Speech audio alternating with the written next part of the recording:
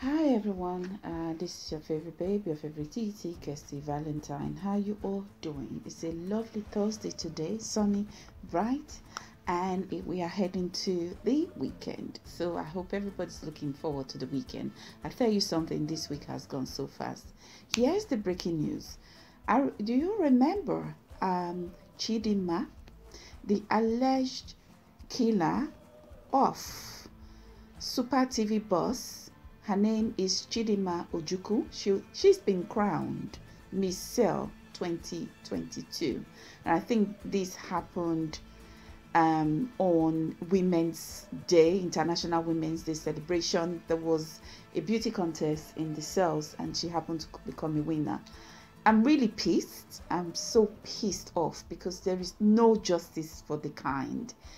This girl, Chidinma, has become a celebrity she's being celebrated like she is some kind of queen or some kind of Hollywood um, megastar. There is no justice for for the for for for the uh, kind. She apparently, with accomplice with all the people, murdered, gruesomely murdered the CEO and the chief executive officer of Super TV Usifo Ataga, Michael Usifo Ataga, in June of 2021. He left behind a young wife and two children. Justice needs to be served. This girl is so irrelevant. She shouldn't be in the paper. Apart from when she has been served justice, sentenced, that is when she ought to be in the paper, not even on TV, because she, this girl, does not need to see the daylight. And her uh, beauty crown and sachet, uh, and it's all over on social media. Now, there is someone suffering, and which would be the family of Usifo Ataga his wife and his children, his mom is still alive, his brothers, the, in fact, the loved ones he's left behind are suffering.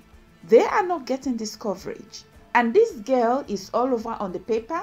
I mean, the Nigerian press is parading her like she's, she's some kind of sex symbol, like a movie star or something.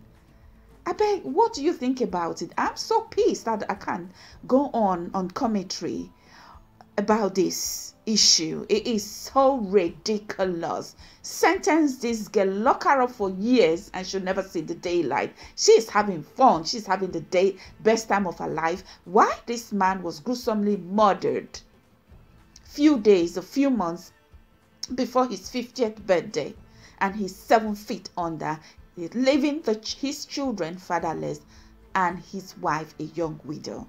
And Usifo Amaga's uh, mother without a son. It is ridiculous. It is, it is ridiculous. The press should stop this. The Nigerian press and media are purporting and concocting this whole issue and making this girl, this murderess, this killer, a celebrity overnight. This is your favorite babe, your favorite TT, Kirsty Valentyn. Please remember to support this channel. Leave a comment, like, press that bell button for notification in, in any in, in, in any way you will be notified when a new video have been uploaded or when I go live streaming. It's your favorite babe, your favorite TT, Kirsty Valentyn.